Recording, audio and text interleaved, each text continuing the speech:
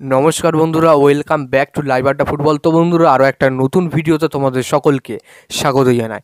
বন্ধুরা, ভিডিওটা শুরু করার আগে তোমাদের কাছে একটাই অনুরোধ, সেটা হচ্ছে যে আমাদের এই চ্যানেলে যারা প্রথমবার, তারা অবশ্যই কিন্তু আমাদের এই চ্যানেলটাকে সাবস্ক্রাইব করে পাশে থাকা বেল আইকনটি অল করে রাখবে, যাতে সবার প্রথমে এরম খেলার আপডেট তোমাদের কাছে পৌঁছে যায়। বন্ধুরা, আজকে একটা মানে প্রশ্ন নিয়ে কথা বলব। একজন আমাকে প্রশ্ন করেছে এবং প্রুফও পাঠিয়েছে, সেটা নিয়ে আজকে আমি কথা বলব এখানে।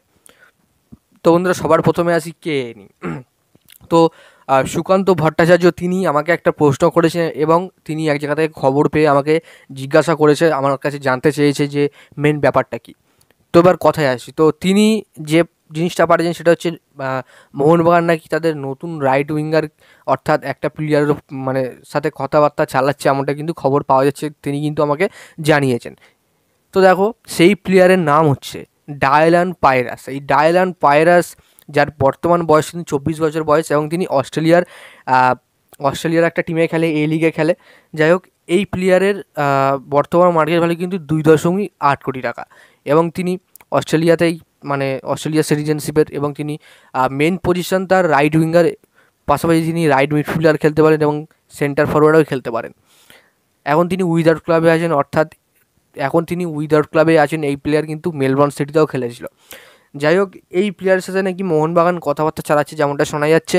আর এই প্লেয়ার কিন্তু বাইশটা ম্যাচ খেলে দুটো অ্যাসি মানে দুটো গোলও আছে আর কি এই প্লেয়ারের এবং একটা অ্যাসিস্টও আছে। যাই হোক যথেষ্ট একটা ভালো প্লেয়ার শোনা যাচ্ছে যে এই প্লেয়ারের সাথে নাকি মোহনবাগানের একটা লিঙ্ক আপ তৈরি হয়েছে, যতদূর খবর পাওয়া যাচ্ছে।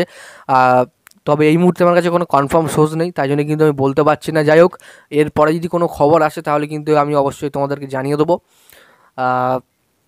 তো আমার মনে হয় না যে মোহনবাগান এই প্লেয়ারকে সামথিং সই করাবে, কারণ তাদের প্রায় সব কটা প্লেয়ার কনফার্ম হয়ে গেছে। হ্যাঁ তোমরা সবাই জানো জেসন কামিংস নিয়ে আনোয়ার আলী নিয়ে আরও অনেকে, অনেককে নিয়ে কিন্তু মোহনবাগানে তাদের কিন্তু দু হাজার তেইশ চব্বিশের দল কিন্তু অলরেডি তৈরি হয়ে গেছে। তো আমার মনে হয় না মোহনবাগান আর কোনো প্লেয়ারের উপরে ঝাঁপাতে পারে, বিদেশি কোনো প্লেয়ারের উপরে ঝাঁপাতে পারে। আমার মনে হয় মানে আমাদের ইন্ডিয়ার কোনো প্লেয়ারকে হয়তো নিতে পারে পরে, কিন্তু আর দেশি প্লেয়ারের উপরে ঝাঁপাতে সরি বিদেশি প্লেয়ারের উপরে কিন্তু নাও যেতে পারে মোহনবাগান আমার কিন্তু যতটুকু ধারণা আছে। যাই হোক, আমি ক্লিয়ার করতে পারলাম। আশা করি তোমাদের ভিডিওটা ভালো লেগেছে। আজকের ভিডিও এখানে শেষ করছি। যদি তোমাদের ভিডিওটা ভালো লেগে থাকে, তাহলে অবশ্যই লাইক করে দিও। আমাদের এই চ্যানেলে প্রথমবারের জন্য হয়ে থাকে চ্যানেলটাকে সাবস্ক্রাইব করে পাশে থাকা বেলাইকনটি অল করে রেখো।